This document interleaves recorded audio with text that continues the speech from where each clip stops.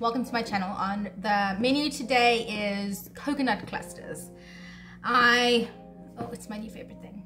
I found, well, not found, but I looked up multiple recipes and they had lots of um, other ingredients in to create these things and I was like, no, I don't want to have to have like thickeners and other flavorings. I just want it to be simple. And so I got some dark chocolate and uh, two types of coconut, of shredded coconut, and then coconut flakes. And that is it.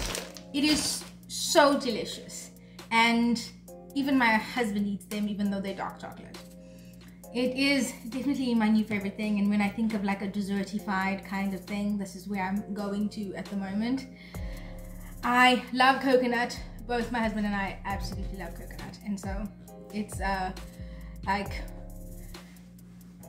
two home run winner for us in this household.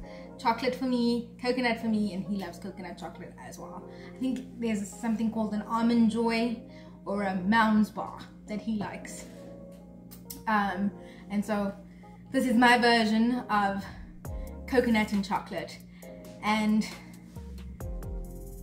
I know that there are other recipes out there that involve putting egg and that kind of thing and it creates a more denser, chewy bar. But I was just looking for total simplicity in the simplest ingredients possible. So here's my coconut clusters. Step one, break up my chocolate into my trusty Pyrex jug. Oh dear, there's always some kind of emergency, and my trusty helper helps me fix it quickly. I'm creating a double boiler effect, just not on the stove. I've got some boiling water in the bottom bowl, and the jug fits in perfectly. And you just allow it to sit and melt using the heat of the water inside the bowl. And you help it along, stirring it. I'm going to prepare my pan with the cupcake holders. More stirring. You just patient and then it needs a second batch of boiling water. Once it's done, you're going to add your swerve. I add two teaspoons.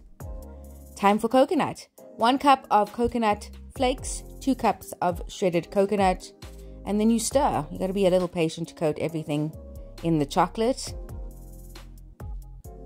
And now it's ready to put into the little cupcake holders. My marker here is two tablespoons per little cupcake holder. And then once you're done, it's going to go into the freezer. And I like to set a timer. It is 15 minutes and you have a delicious treat. You can store them in an airtight container in the fridge. It won't stay in the fridge for too long because they're so delicious they'll be gone in the blink of an eye. I store them in little lunch bags so that I can pack them for a treat when I'm packing lunch in the morning.